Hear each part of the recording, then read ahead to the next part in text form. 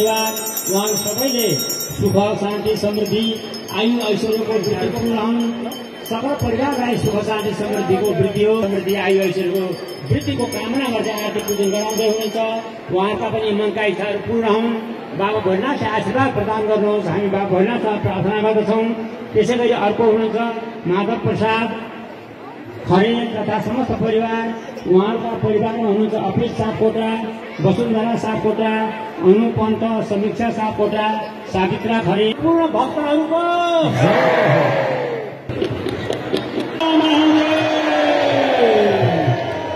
श्रीमान सचिवज्यू साथीको किनकि उहाँ भगवान पशुपतिनाथको नेपाल राष्ट्रको। सही सम्मार्गमा लाग्ने प्रेरणा दिइरहनुहुनेछ र जस्तासुकै चुनौतीको पनि हामीले सामना गर्न सक्नेछौँ भन्ने अपेक्षा गर्दछु र यहाँ बस्नुभएका सम्पूर्ण घनश्याम बदेउडाजी बोलिनेछ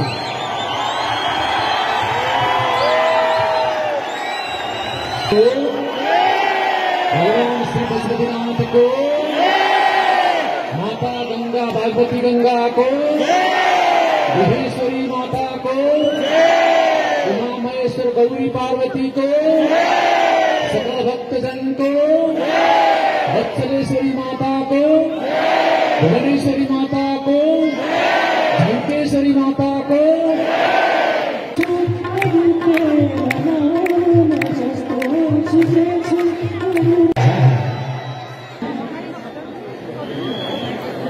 आज यो श्रावण महिनाको पहिलो सदा।